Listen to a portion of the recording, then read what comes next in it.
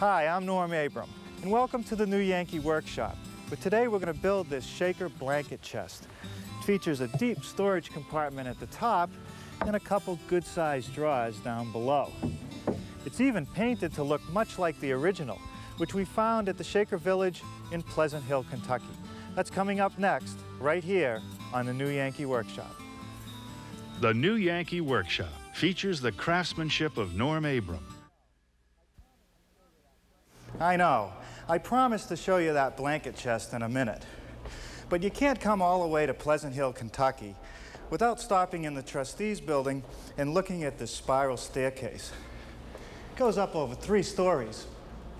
And to think they built it without a compound miter box, without a laser level, and they didn't have any cordless drills. Now over here on the other side of the hallway is one that's identical. That, ladies and gentlemen, is craftsmanship. It's hard to imagine it now, but as recently as 1968, this country lane was a federal highway. But the people here at Pleasant Hill must have some friends in high places because they were actually able to get the federal government to move it. And now we have the perfect setting for these wonderful old historic buildings. And that's the one I want to go to next, the center dwelling. Greetings, sister.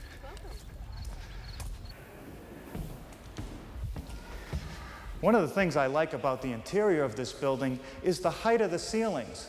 They're over 14 feet. And I also noticed these arches, very tight arches. And I'm told they're characteristic of the architecture here at Pleasant Hill. Now, there are 40 rooms in this building, and most of them are chock full of shaker furniture. This one was set up as a retiring room. A couple beds, a rag rug, and a familiar looking chest. Oh, and there it is in the cloakroom, a painted blanket chest. It has a couple nice drawers, and underneath this lid, a large storage compartment. And look at this sticker, seven very best blankets. I better take some notes on this one. Before we get started, I'd like to reassure you that if you'd like to build an exact copy of today's project, that a measured drawing and a materials list is available. And you'll hear more about that before this program ends. I'd also like to take a moment to talk about shop safety. Be sure to read, understand, and follow all the safety rules that come with your power tools. Knowing how to use your power tools properly will greatly reduce the risk of personal injury. And remember this, there is no more important safety rule than to wear these safety glasses. Now I'll show you how I built today's project. In order to appreciate the joinery in a piece of furniture such as this, you have to respect the movement of wood. When the humidity goes up, wood expands. When it gets dry, it shrinks. Now this breadboard edge I've installed on the top is decorative and it adds strength to the top.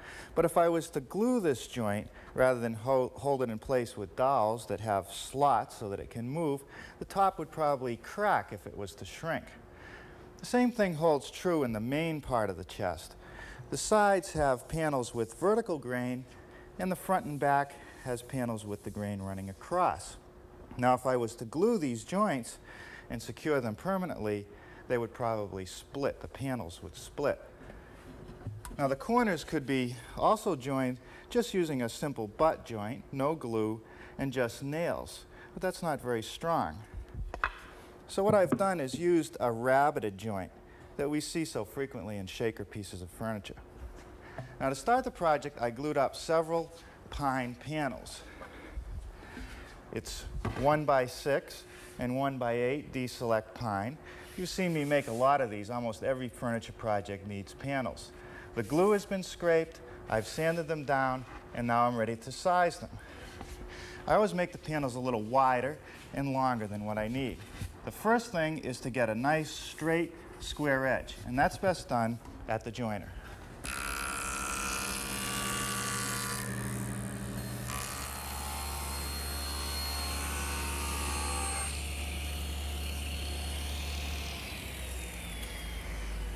Okay, now I'll square one end and cross cut it to length.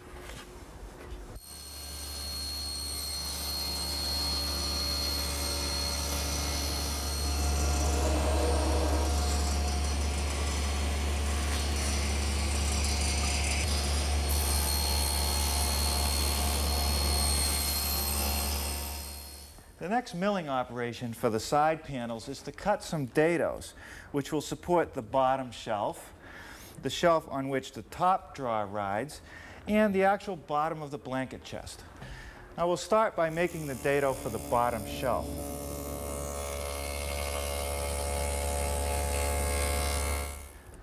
Now readjust the rip fence for the top dado cut. Now I can't use my built-in tape measure because of the thickness of the dado cutter. So I'll use my tape and measure to 22 and a half inches.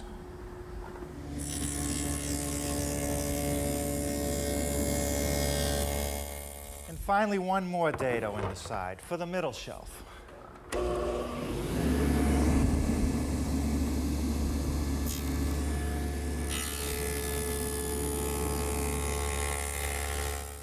Next, let's make some rabbets in the side panels.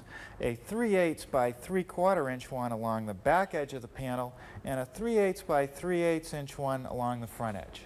I'm going to leave the dado set up exactly as it is, but I'm going to attach this wooden strip to protect my rip fence. It's a nice little thing to have around the shop, and it's just held in place with a couple screws. Okay, now I can run the rip fence over the dado head cutter for varying widths of rabbets. Now first I'm going to set it up for a 3 quarter inch wide rabbet, which will be right at the edge of that blade, and run a sample.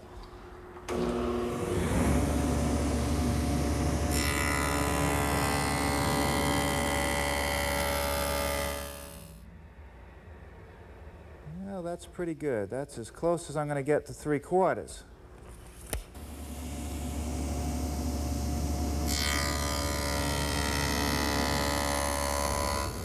An adjustment to the rip fence to make the 3 8 inch dado, which is good on our sample piece, I'm ready to run the front edges.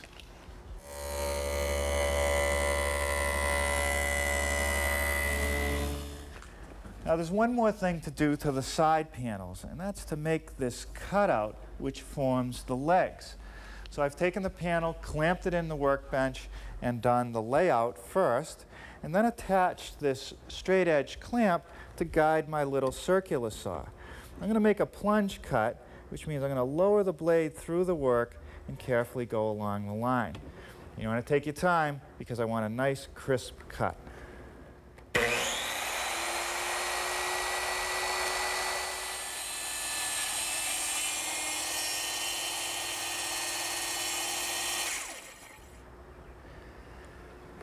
Now I can remove the clamp and make these short angled cuts freehand.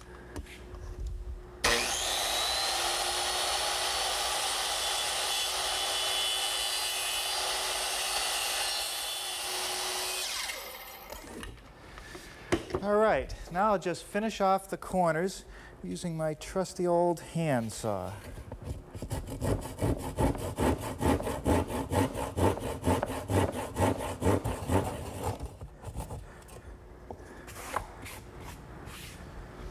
it's time to do a little assembly.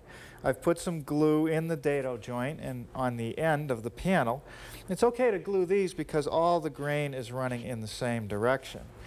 Now just nail it in place using some four penny finish nails in my pneumatic nailer. Now you'll notice that I've rabbeted the bottom edge of this top panel, that's the bottom of the chest, and that's to receive the quarter inch plywood back that goes behind the drawers that I'll be putting on a little bit later. Okay, next piece to go in is the bottom shelf. We'll just slip that into the dado and also nail it in place.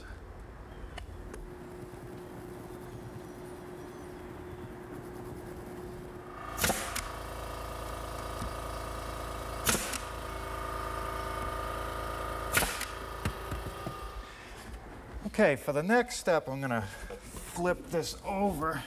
This will be a bit, bit easier to locate the front edge of the shelf. Now the shelf that supports the drawer, the top drawer, is actually a piece of plywood that I had here at the shop. You could use a pine panel, but since you don't see it, it really doesn't make much sense.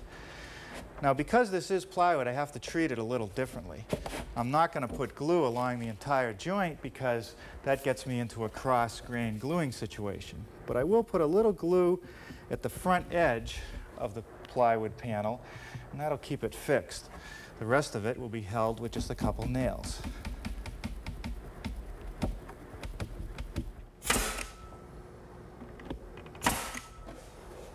Okay, now let's flip it back around again so that the back side of the chest is facing up, and we'll put on the quarter inch plywood back. Just a little bit of glue along the edge of each shelf and the side panels. And now the piece of quarter inch plywood, which I'll just tack in place with some one inch brads.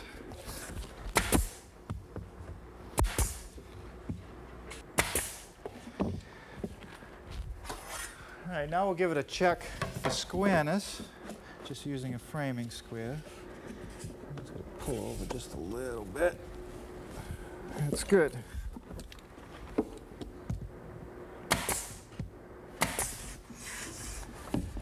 Now there's one more piece for the back of the blanket chest, and that's this solid pine panel. And I made it out of pine because you're going to see it. Now I sized it the same way as I did with the side panels, but I've made a little rabbet joint down at the bottom edge, and that's so that it will lap over the bottom of the chest. And that's so that if I have any shrinkage of this bottom panel, it won't have a gap along the edge back here.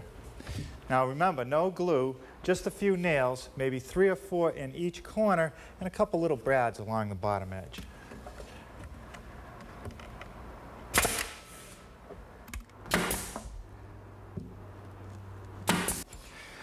Okay, now I'm just going to flip the whole case over so I can put the front piece on.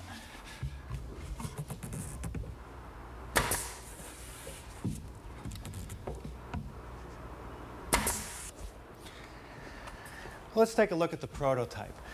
Beneath this panel on the front is a stile, and it goes all the way down to the floor, becoming part of the foot.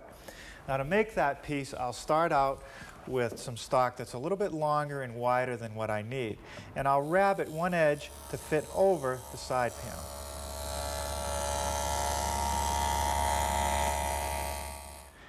Well, now I'll just bring the pieces over to my power miter box and square up the top end. All right, first we'll check the fit up at the top. And that's good. And now I'll mark the bottom for the exact length, just using my square as a guide. And now we can trim that.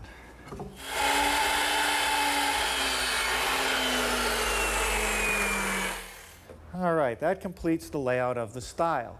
It starts up at the top to be one inch wide down along the side of the drawer openings. And then when it reaches the top of the bottom rail, it angles down to the bottom edge. And the width right here is two and a half inches, the same as the side, and it tapers down to one and a half inches.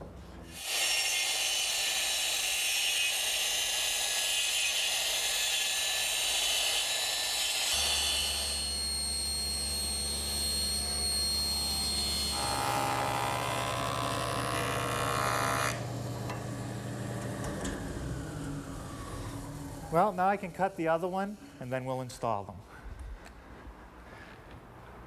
Now here on the stiles, I can use a little bit of glue, and I'll just use some one-inch brads to fasten it together.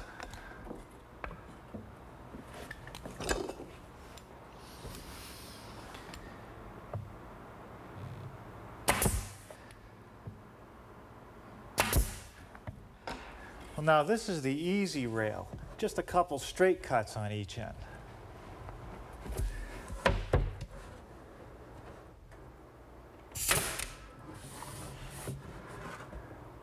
Now where the rail meets the stile, I need an angle cut. And I want to know what that angle is. So I'm going to use my bevel gauge. But if I try to slide it in here, it hits the stile, and I don't get a true reading. So I'm going to use a little scrap as a spacer. And that way I can set my gauge exactly to the right angle. Now over here at the miter box, I put one leg of the bevel gauge against the fence and then pivot the saw around and align it with the other leg until it's perfectly parallel. And that's pretty good. Looks like about 40 degrees. Now make a cut on one end of the rail.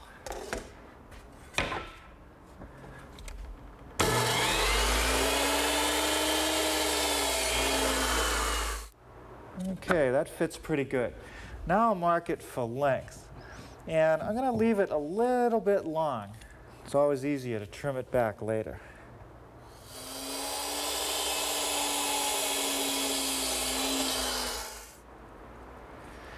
Okay, just a little bit of glue on this rail, and I'll nail it in place with some four penny finish nails.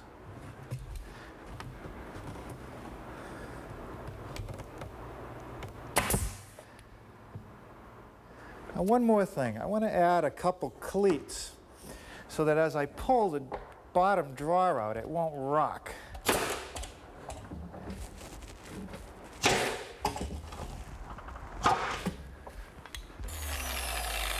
Well, now I'll just sand everything smooth and flush using my random orbit sander, which doesn't leave any swirl marks even when I sand across opposing grains.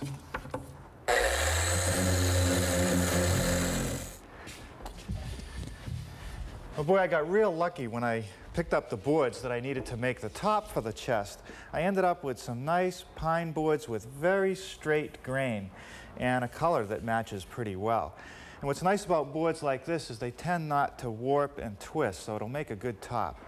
I also have a couple pieces set up here cut from the same board to make the breadboard edges. The first milling operation for the top is to make this tongue on the end of the large panel. And I'll do that on the table saw.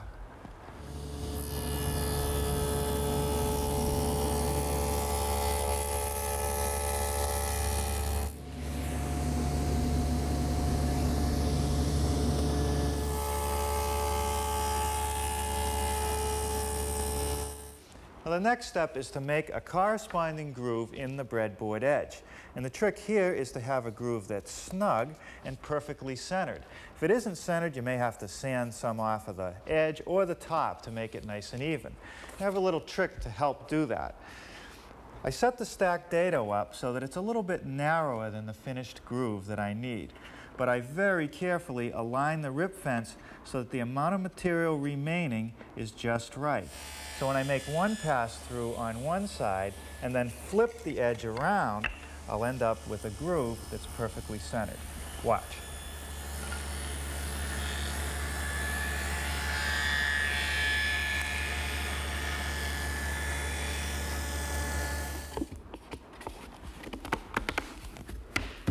Ah, that's perfect, just what I want.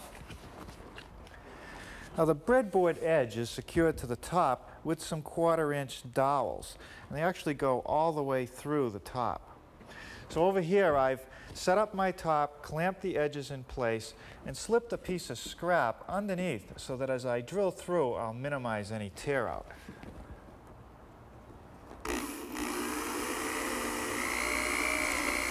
And I want to elongate the holes on each end so that the top can expand and contract freely. And I'll just use my drill.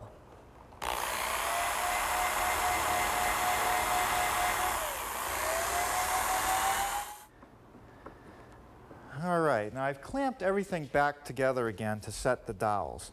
And what I want to do here is just put a little bit of glue at the top edge of the dowel so that it'll be held in place, but not so that it'll be glued all the way through and restrict movement of the top.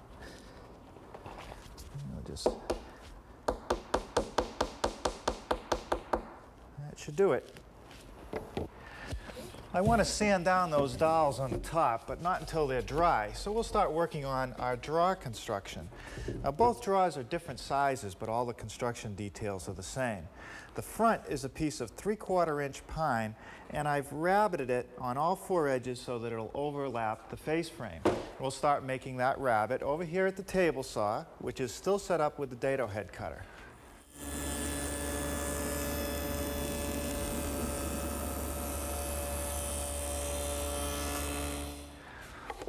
Next, I'm going to make a quarter inch wide by quarter inch deep dado in the side pieces and along the bottom edge of the front piece to accept the plywood bottom.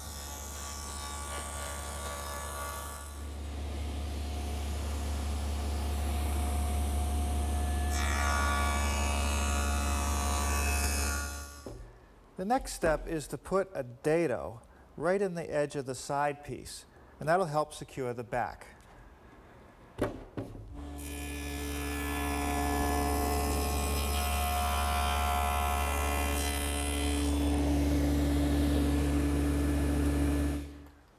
The sides of the drawer are joined to the front with dovetail joinery, and that's a good choice because it's perfect. It'll hold it together, it'll never come apart.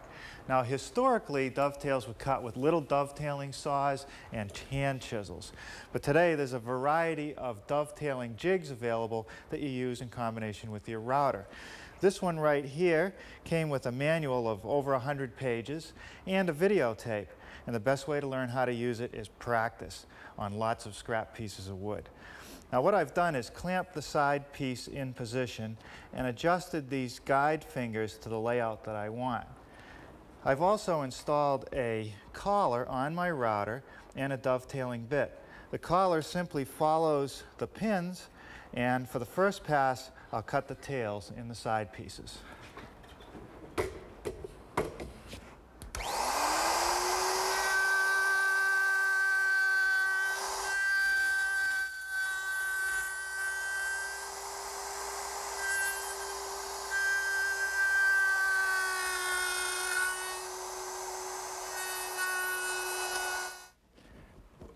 Okay, now I've made a couple adjustments to the jig and I've installed one of the draw fronts horizontally. And now I'm ready to cut the pins.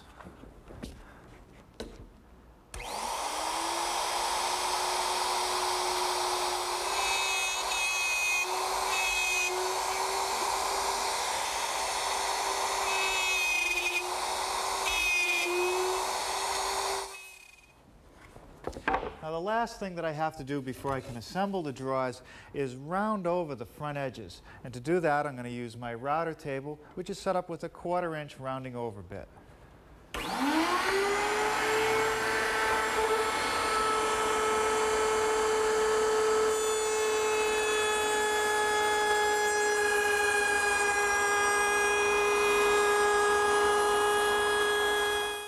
Well, the first step in the assembly process of the drawers is to put a little bit of glue on all the mating surfaces and just spread it out with a brush. And I can just slip it together and tap it in place with my mallet.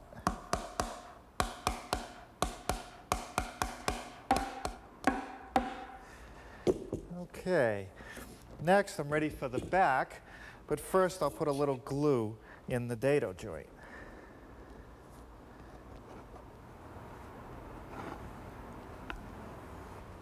Now I'll just secure the back in place with a couple brads.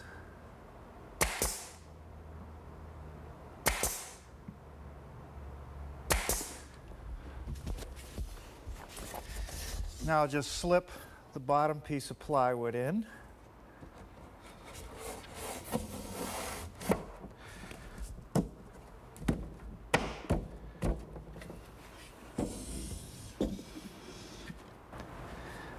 Now just check the drawer for square using the framing square. It's got to rack just a little bit. Okay, and now I'll secure it along the back edge with some brads.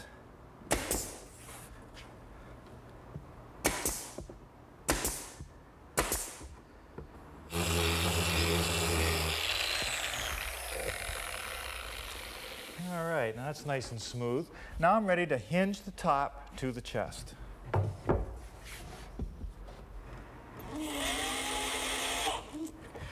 Now to attach the top, I've used a 30-inch brass-plated piano hinge. Nothing fancy, just surface mounted, should be more than enough to handle the top. Now let's get to finishing this piece.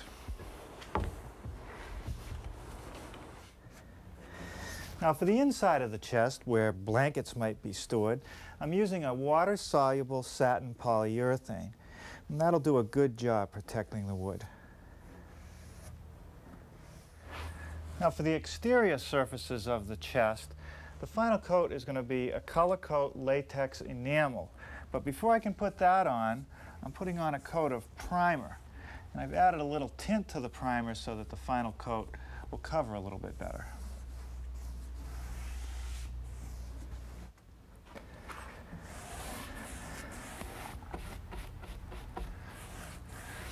And now the color coat. It's an acrylic latex enamel. Kind of a nice old-timey brick color.